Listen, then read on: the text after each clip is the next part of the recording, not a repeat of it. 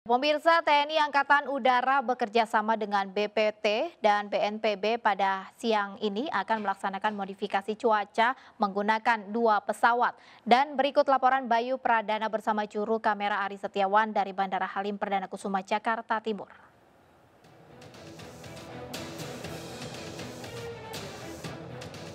Ya pemirsa berbagai cara dilakukan untuk mengurangi curah hujan yang berada di atas Jabodetabek untuk mengurangi banjir yang terjadi di sekitar Jakarta dan juga kota satelit lainnya. Di antaranya itu usaha yang dilakukan oleh BPPT dan juga TNI Angkatan Udara untuk mengurai awan yang akan dilakukan beberapa saat lagi. Dan untuk mengetahui lebih jelasnya saya sudah bersama dengan Kasau TNI AU, saya sudah bersama dengan Pak Yuyu. Pak selamat pagi Pak.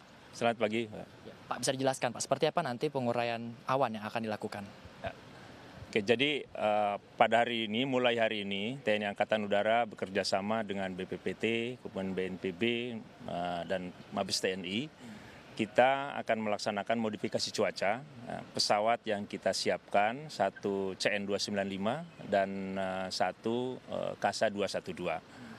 Nah tujuannya adalah supaya uh, awan yang akan masuk ke wilayah Jakarta khususnya atau Jawa Barat pada umumnya kita akan pecah dan kalau ada hujan kita turunkan sebelum uh, masuk ke daratan. Itu.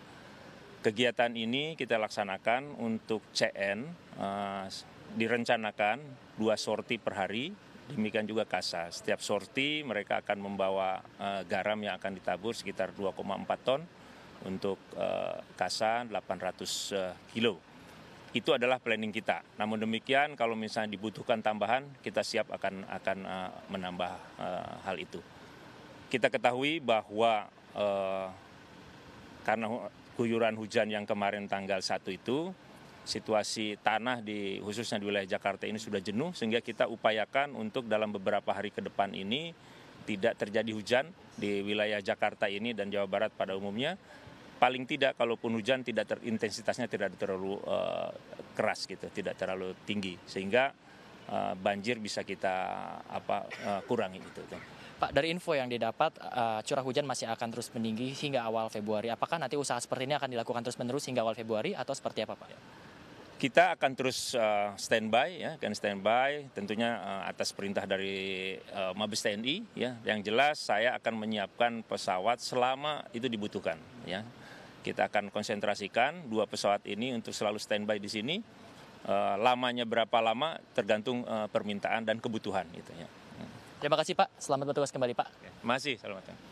Seperti itu penjelasan dari Kepala Satuan Angkatan Udara, Yuyus Sutisna, dan juga berbagai persiapan lainnya juga sedang dilakukan untuk nantinya akan melakukan penerbangan yang akan dilakukan sedikitnya ada dua sorti setiap harinya. Di antara saya akan menunjukkan pada Anda bersama dengan juru kamera Laksana Tiara seperti apa salah satu pesawat Chen yang ada di belakang saya ini akan nanti digunakan untuk menabur garam di mana pesawat ini nanti mampu membawa sekitar 2,4 ton garam. Ini artinya ada sekitar 4 tabung dari masing-masing tabung ada 600 uh, kilo di setiap uh, tabungnya yang nanti akan dibawa ke udara dan akan dibawa menuju ke laut di mana usaha ini adalah usaha menabur garam di mana diharapkan nantinya apabila garam ini ditaburkan di atas awan yang berpeluang untuk hujan nanti diharapkan hujan akan turun di lautan sebelum sampai ke uh, Pulau Jawa yang di mana adalah di antaranya Jabodetabek. Dan tentunya usaha ini merupakan salah satu upaya untuk mengurangi uh, banjir yang sudah menggenangi wilayah Jabodetabek beberapa waktu lalu. Dan tentunya kita harapkan bahwa usaha ini tentunya dapat menolong uh, warga khususnya Jabodetabek untuk nantinya dapat mengurangi intensitas hujan dan juga banjir yang terjadi di Jabodetabek. Dari Jakarta, Bayu Pradana Laksana Tiara, Ari Setiawan, Anjus melaporkan.